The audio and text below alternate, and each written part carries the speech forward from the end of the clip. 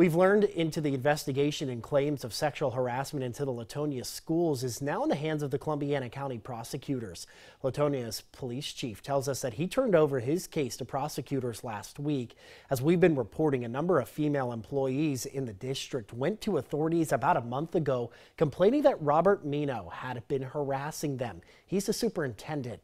Now, after the allegations surfaced, Mino was placed on paid administrative leave with the district and conducts its own internal review, and an interim superintendent was appointed.